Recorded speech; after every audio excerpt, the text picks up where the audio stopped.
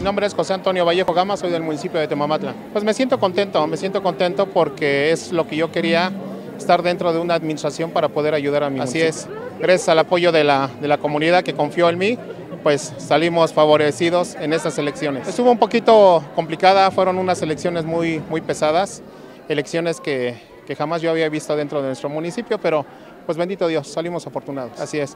Pues pues antes que nada le doy las gracias a la comunidad por haber confiado en mí y simplemente yo se los he dicho, yo se los voy a, ese favor que ustedes me hicieron, yo se los voy a pagar con trabajo, con un, una mejora hacia nuestro municipio. Así es, estamos preparados, sabemos, sabemos que se nos vienen muchos problemas, pero estamos preparados para uh, asimilar todos esos problemas. ¿Algo más que saben este, pues simplemente le agradezco a la comunidad que me haya dado su confianza, su apoyo y no los voy a defraudar.